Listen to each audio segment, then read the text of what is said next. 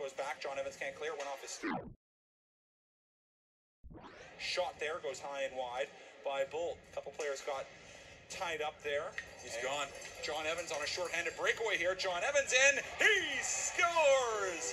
You better believe that's monkey number two off the back for the West Kelowna Warriors. Here's Johnny.